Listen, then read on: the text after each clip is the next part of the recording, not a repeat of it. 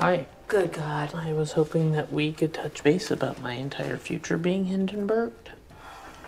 Oh, the romanity. Come in or fuck off. This is loitering. And I'm not available 24 hours a day like an ATM. Did you know about Shiv? No. I mean, uh, I didn't know, no, but Anybody who wasn't a fucking moron would have figured it out. Yeah, got it. Do you have any booze? there you go. Thank you. I'm sorry.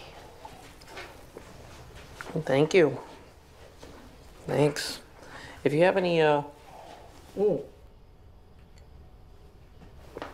suggestions for what I should do for the rest of my life, I'm all ears. Well, I'm getting great reports from the training program. No shit. Amazing. Yes. Fuck yeah. Training program. Maybe one day I can be in charge of making the roller coaster go.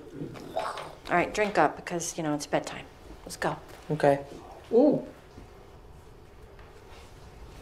Unless you want to schedule one of our special conference calls for, say, right now.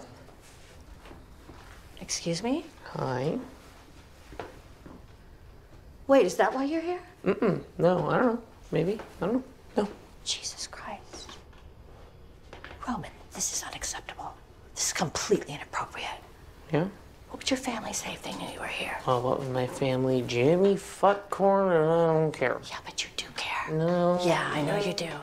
And they would be ashamed of you. And rightly so. Okay, I'm very sorry, Gerri. No, you don't be- get to speak. You have always been a disappointment, but this is just. You have gone beyond the pale. I have? Oh, yeah. You know what you are? What am I? You are a sick fuck. You are a sick fucking animal. Yeah? Yeah, don't look at me. Get in that bathroom. Now. Go on. And you will stay in there until you have done something with yourself.